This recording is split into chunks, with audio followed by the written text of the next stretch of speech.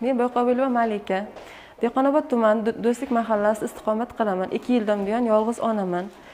Ikki uch oy oldin kredit olish masalasi bo'yicha xalq bankiga murojaat qilib hujjatlarimni taxlab tikuvchilik sohasiga o'ttiz millionga hujjat topshirgan edim. Ular menga o'ttiz million emas yigirma million chiqarib beramiz degan shart bilan hujjatimni qabul qilishdi.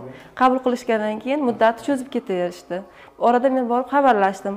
Orada hujjatlarim ham topilmay qoldi. Xalq bankiga hujjatlarimni izlab borganimda qaytarib olish maqsadida hujjatlarni topib beramiz degan bahona bilan hujjatlarimni yo'qotishganmi? Topamiz deb bahona qilishyapti. Haligacha hujjatlarimni topganim yo'q. Unga bunga deb u yoqqa bu yoqqa yuborishyapti lekin hujjatlarim chiqmayapti xalq bankidan.